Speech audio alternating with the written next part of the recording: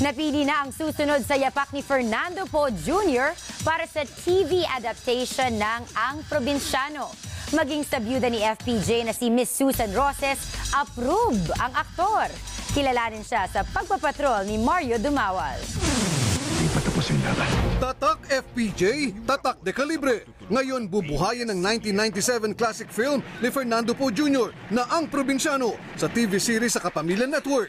Kasunod ito ng kasunduan ni Susan Roses at ABS-CBN para pangalagaan ang mga pamanang pelikula ni FPJ. Maraming salamat po, Miss Susan Roses. Isa na naman po itong pagbibigay-pugay sa nag-iisang hari ng pelikulang Pilipino. Ang pinakamalaking katangiang ni Fernando Po Jr.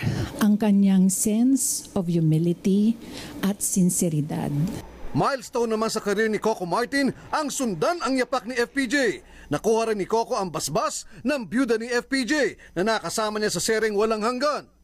Through Charo, sinasabi niya, bigyang pansin ninyo ang ating kapulisan. Kaya very timely itong inspirasyon ng ABS-CBN sa alaala ni FPJ. Doon ko nakita yung sincerity na hindi pera, hindi hilig lang sa baril, kundi yung pananaw, prinsipyo na gusto nilang magkaroon ng, ng kapayapaan at katahimikan dito sa bansa natin. Kambalang role ni FPJ sa ang probinsyano na nagbibigay pugay sa kabayanihan ng mga pulis. Ikinatuwa naman ng PNP ang pagbibigay importansya sa imahe at pagtataas ng moral ng kapulisan sa mata ng publiko at kanilang pamilya.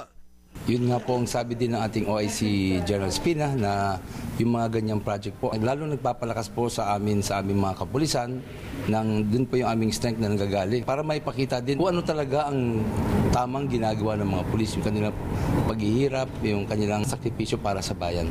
Gaganap na lola ni Coco si Susan, kasama rin sa kasi na Bella Padilla, Angeline Quinto, Arjo Ataide, Albert Martinez at Jaime Fabregas. Hindi hindi ko po bibiguin ang mga kapulisan. Gagawin ko po yung pinaka-best ko para po magampanan ko yung- ng tama po itong proyektong to. Gigiling ang kamera sa ang probinsyano ngayong Mayo. Mario Dumawal, ABS-CBN News.